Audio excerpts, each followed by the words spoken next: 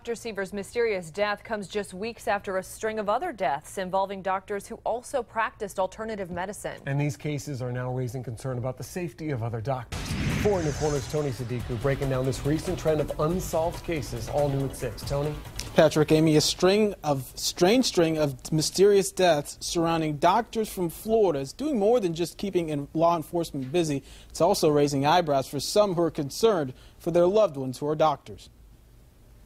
Dr. Bruce Hedendal, Dr. Jeff Bradstreet, and Dr. Teresa Ann Sievers, all three from Florida, all three alternative medicine specialists, all three found dead in the span of two weeks. Of the three, only Dr. Sievers has been ruled a homicide so far, but investigations are still underway in the other two deaths. Erin Elizabeth is in a relationship with a high profile alternative medicine doctor.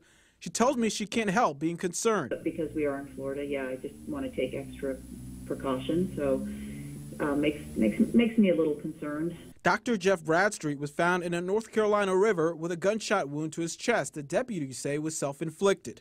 But the family doesn't buy that there was no foul play involved, so they've started a GoFundMe page to do a more thorough investigation. Bradstreet's practice had been raided by the FDA days before his tragic death. A medical doctor who uh, doesn't believe maybe in quite traditional treatments that it's it's not unusual for the for the feds to investigate. Then there's Dr. Bruce Hedendal of Boca Raton. He was found in his car dead on Father's Day. He hadn't been in a car accident. The car wasn't even running. Still no word yet on how he died. But the list doesn't stop there. Two more doctors have vanished since last Monday. Dr. Patrick Fitzpatrick of North Dakota and Dr. Jeffrey Whiteside from Wisconsin.